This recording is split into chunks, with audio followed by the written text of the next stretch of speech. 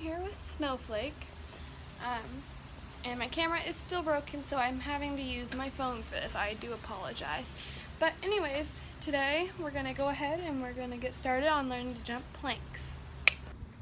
So before jumping a plank, I really want to get, you should really get the dog used to jumping a vertical with a rail underneath it, like this, but no plank, and there's just a rail underneath. Um, and so, because it's gonna be scary because they can't see what's on the other side. They don't know what's on the other side. For what they think about a plank is what's on the other side is um, snakes or or um, an endless pit or something that could hurt them. Okay, so you really want to walk them literally around it. Okay, so they can see. Jump them both ways on it on the warm up. Make sure it's small. Um, just make sure you don't do anything that would hurt them. Okay, so now I'm ready to jump her. I'm ready to jump her now. I'm gonna go ahead and I'm gonna let her see both sides of it. She she's jumped this a million times. She know what it is. She knows what it is. But I'm gonna head let her look on both sides. Oh, okay. Okay. She loves to jump. I'm sorry. She's leg itch. She's jumped things like this a million times. I'm gonna go ahead. I'm gonna walk her around.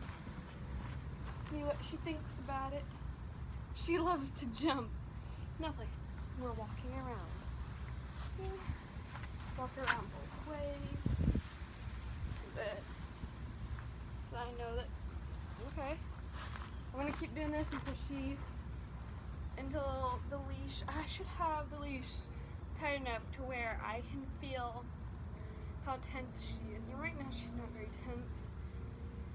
But I mean, I'm just gonna relax her a little bit more. Make her be a good girl. Good. Good. Okay, so now I'm ready to jump her. Okay, and I'm gonna show you um, how her body should look while we're jumping. Come here. Come, come. Good girl. Okay. So her body, stand, should be pretty much like when we were jumping an oxer. Head up, looking forward. Back should be flat. Legs should be curled up underneath her like this. Her legs, her back legs should be back. Good girl. And they just land like a normal Okay. I'm gonna show you how she jumps now. I'm sure you've already seen that she loves to jump off these. Good.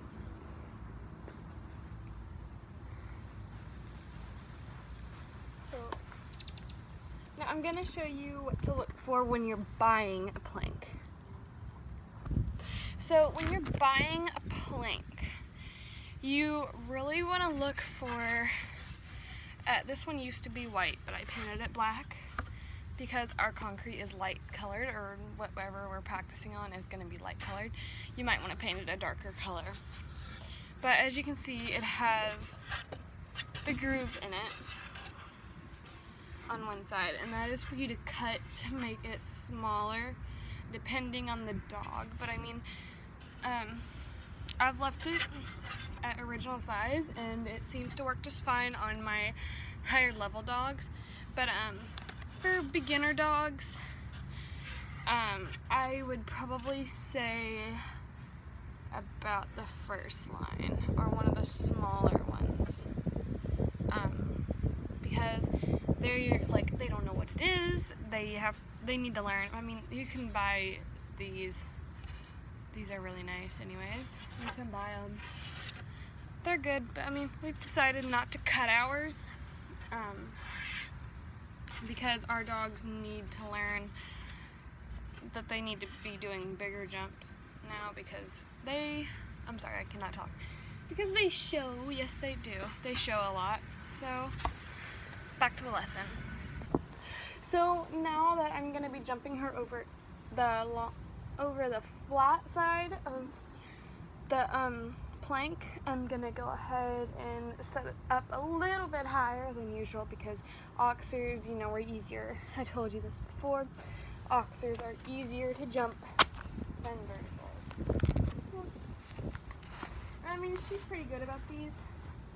She loves oxers, and she just stepped on it a little bit there, but it's nothing the little speed can't resolve. Good. Oh, job. Uh, I'm gonna go ahead and show you a side view of that. Okay. So again, we have it the long way, which is like this, not like this, like this. Okay.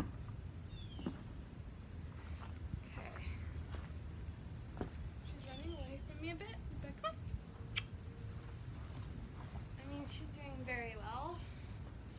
As you can see, she has very good posture. Over. Hat. Hey, hey.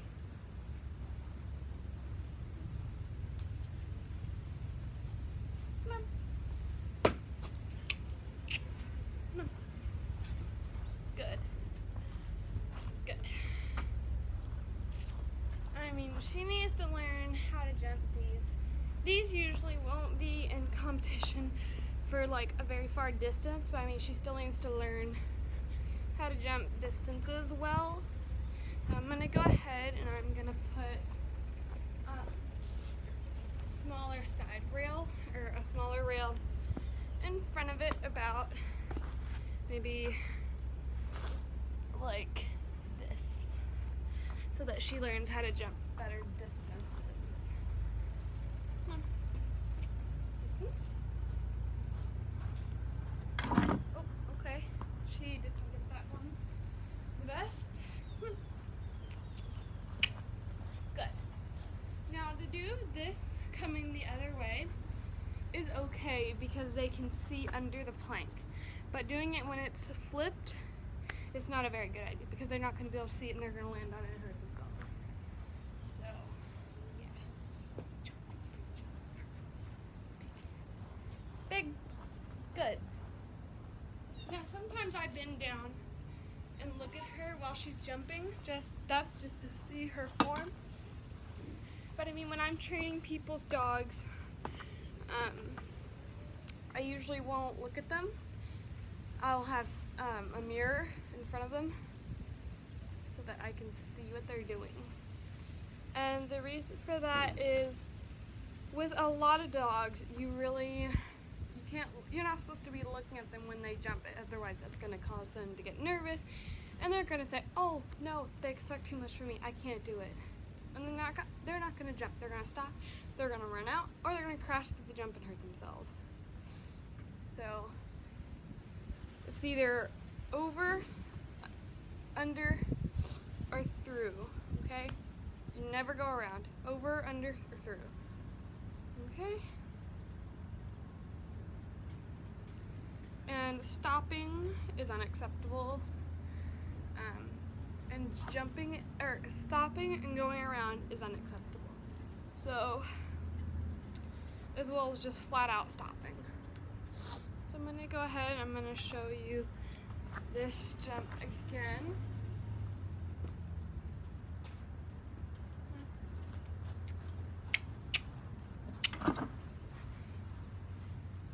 hitting that way too much. I think it's because it's been scooted back a little bit. Oh yeah, that's been scooted back a little bit. Uh, and keep that there. Alright, come on. Sorry, everything got scooted back when she hit it that first time. Come on. Good. Good. And you want to make sure that you have good posture when you're doing this. Good. Especially in the show ring if you're going to be showing your dog. They look for owners. They look at the owners too. They look at the handlers as well. You want you don't want to be here. You want to be up straight looking at your dog while they jump. Um. And like I said before, um, teaching dogs with treats how to jump, like with a treat every every jump.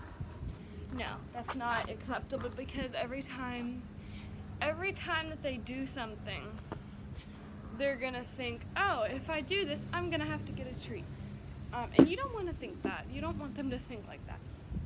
You want them to think, oh, if I do, however, this many jumps, I'll get a treat. If I do this many jumps and also that many, I'll get another treat.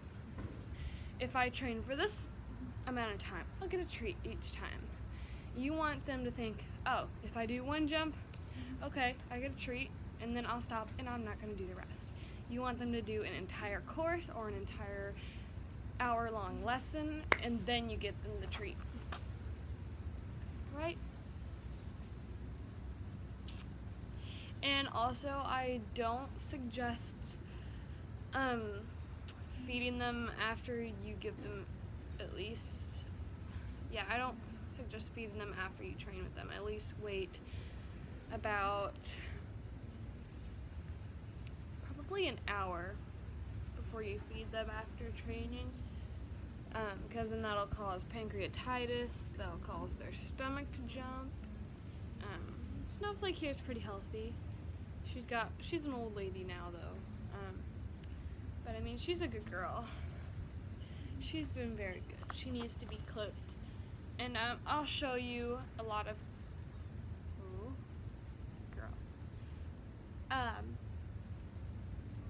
she needs, she needs to have her whiskers clipped a little bit. But she'll be okay.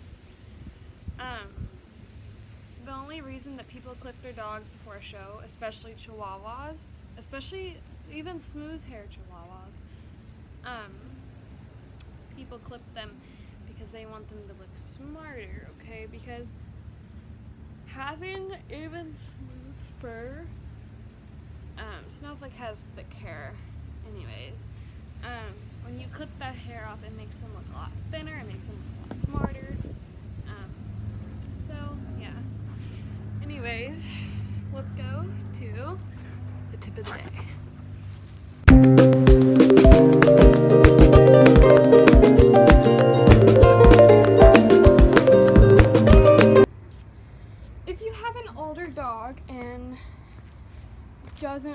Don't want to jump your older dog, you can go ahead and set up a weave chute.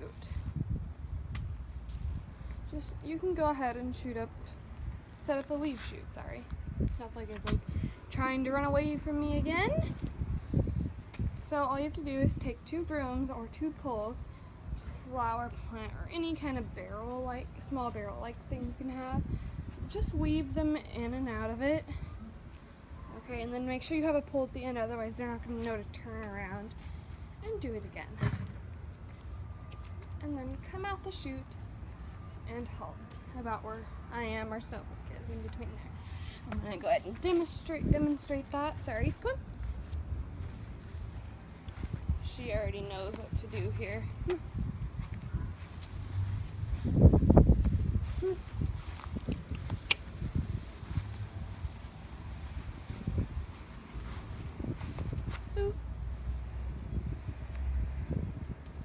Good. Now, back to the program.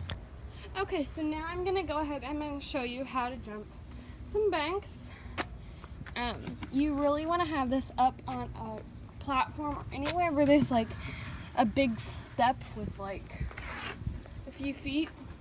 Uh, I mean, not a big step, like really about four or five inches. Um, so I'm gonna go ahead and demonstrate that to you. You wanna go ahead and start jumping them up first instead of down because that's gonna tell them, oh, there's something down there.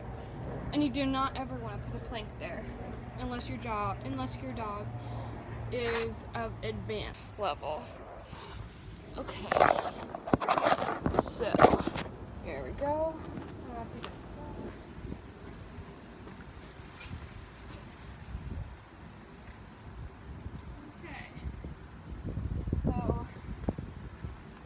and start jumping them up the bank first. Come here. Come. Oh no. And it can be a little bit scary for a lot of dogs because they've never seen this before. They don't know what it is. Uh, she's never seen this before, I believe it or not. She's never jumped bank. And I'm actually going to be showing you guys how to get your dog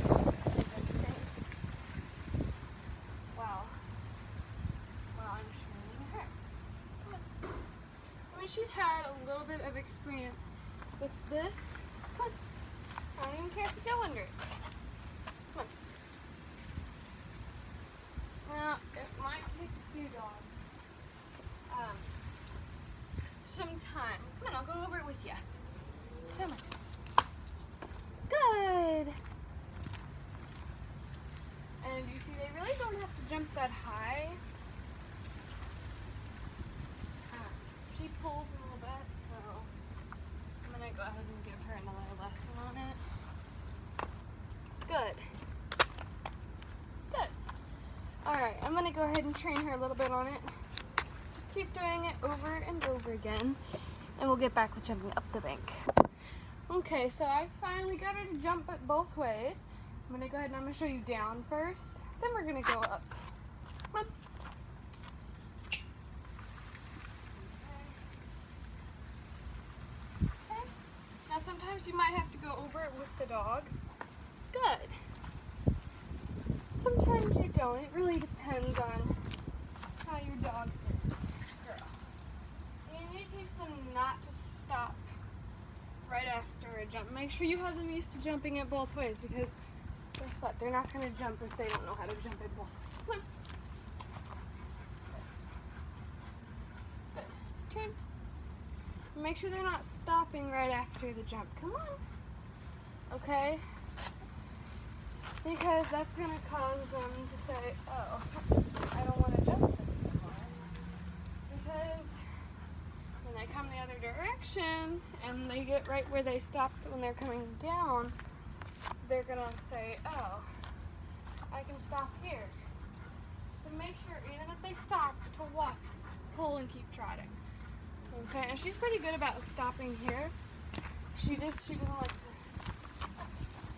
Good. Good girl. Oh. Oh, good girl. Okay. Good job. Okay, I hope you had a fantastic time. I hope you had a fantastic time with us.